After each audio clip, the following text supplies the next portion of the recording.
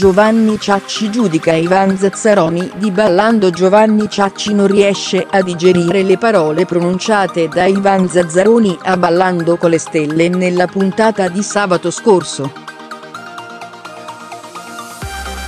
Intervistato alla Zanzara su Radio 24, il programma condotto di Giuseppe Cruciani con la collaborazione di David Parenzo, l'esperto di Luxi è tolto altri sassolini dalle scarpe. Giovanni Ciacci ha dichiarato di accettare quello che ha detto, in quanto un suo pensiero, ma non lo condivide.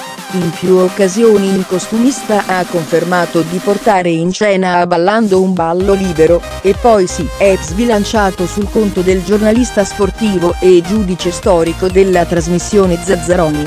È un CR e asterisco asterisco no, un ingenuo. Negli ultimi giorni la polemica rimbalza su tutti i social, dopo che Ivan Zazzaroni ha rifiutato di valutare l'esibizione di Ciacci Todaro a Ballando con le stelle, perché esteticamente sbagliato.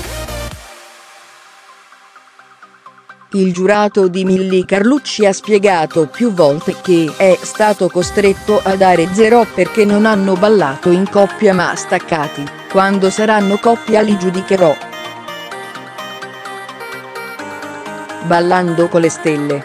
Giovanni Ciacci ancora contro Zazzaroni, il giudice di Ballando 13 Ivan Zazzaroni è stato etichettato come omofobo dal mondo della rete.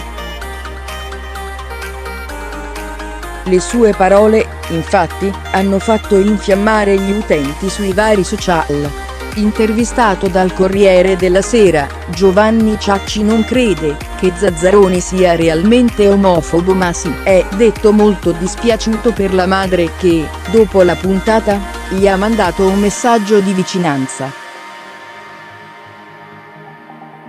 Intanto, Zazzaroni ha trovato l'appoggio di Milli Carlucci che gli ha dato ragione per quanto espresso in puntata. Secondo l'opinionista di detto fatto la gente non è ancora pronta a vedere due persone dello stesso sesso in un ballo ravvicinato.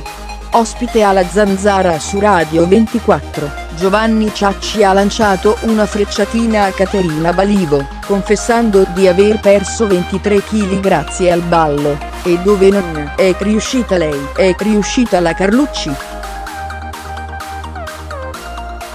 Poi ha rivelato altri dettagli sul suo futuro matrimonio con un principe etiope trentenne. Dopo aver registrato un programma, l'esperto di Luke ha incontrato questo principe, per caso che ha iniziato a fargli la corte. Questa polemica verrà chiarita nella prossima puntata del talent di danza di RAI 1.